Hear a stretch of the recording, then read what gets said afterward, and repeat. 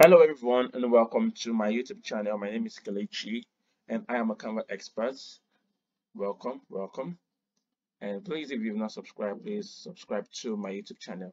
Now today I'm going to be showing you guys how I was able to come up with this um, text. It's looking like a 3D text. Okay, so I did that manually with Canva. This design here, this is a product packaging design and this tutorial is available for those that purchased my canva course. So if you need that you can just indicate in the comment section or just click on the link that you would find in the description. Let's now let's jump right into the tutorial. Remember i'm going to be showing you how i was able to come up with something like this. And you can use this for headings. Let's say you're trying to create a flyer and you're looking for you you want the caption to look really attractive then this would help you for captions for headings or just um, for typographies stuff like that. Without wasting much time i'm going to go over to a new page. Open a new page. This is this is my new page. This is a canvas. Now let's use canva as um, the text we're going to be applying the effect on. This is Canva. Now to make that look um, really nice, I would suggest that instead of using a font like this, okay, um, you can use a script font. So I'm going to use Nexa script. This is Nexa script. And Nexa script, as you can see, it's a pro font, meaning that if you don't have a pro account, you may not, you will not be able to use this font in Canva.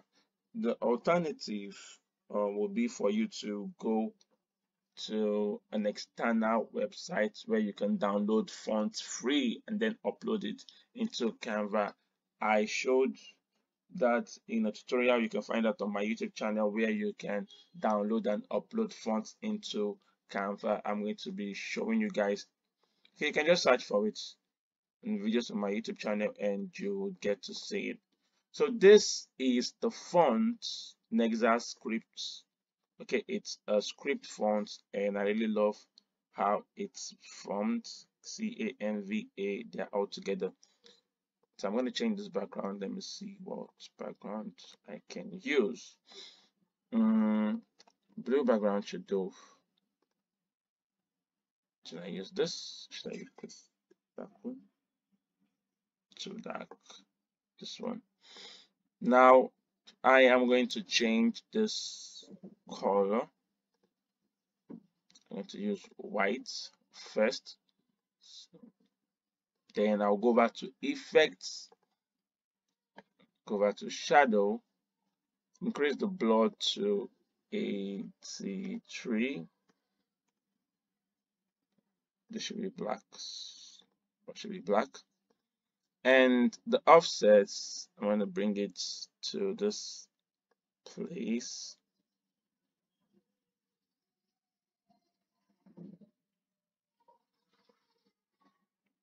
oops the offset it's trying to bring it to okay 45 now we have an offset. Now the next thing i'm going to do is i sorry offset it's a hundred.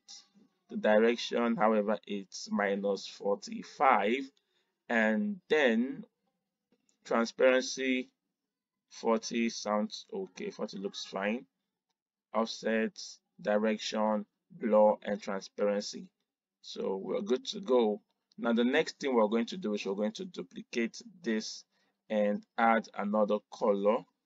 Think um, let's use this color.